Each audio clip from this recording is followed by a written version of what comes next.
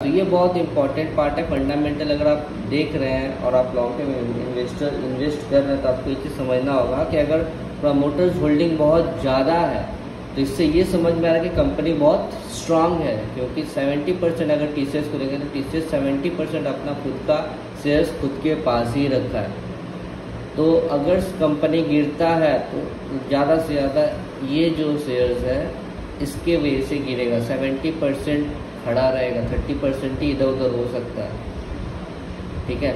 अब अगर promoters holding कम है, अब मान लीजिए रिटेलर्स का होल्डिंग बहुत ज़्यादा है तो उस शेयर में क्या होगा? कभी भी मार्केट अचानक से ऊपर जाएगा, कभी भी अचानक से नीचे की तरफ़ गिरेगा। रिटेलर्स का कोई भरोसा नहीं, ये आज खरीदे और आज ही बेच भी दे।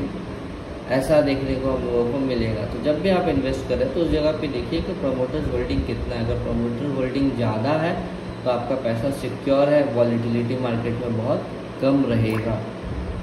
क्लियर है? तो ये पार्ट थोड़ा ध्यान दीजिएगा।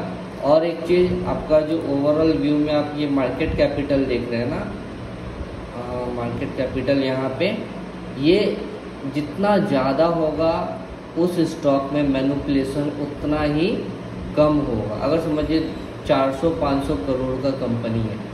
तो उस कंपनी को आप देखें, कभी भी उसमें अपर सर्किट लग जा रहा है, कभी भी लोअर सर्किट लग जा रहा है। उस शेयर्स में लोग अपना पैसा से मार्केट को ऊपर या फिर नीचे लेके आ सकते हैं। अब टी को कोई ऊपर या नीचे अपने पैसे से कर सकता है क्या? एक से दो दिन के अंदर उनका पैसा खत्म हो जाएगा।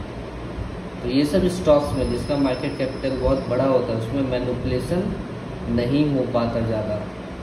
क्लियर है? तो जब अगर लॉन्ग टर्म में पैसा इन्वेस्ट करें तो ये सब बात का थोड़ा ध्यान रखें।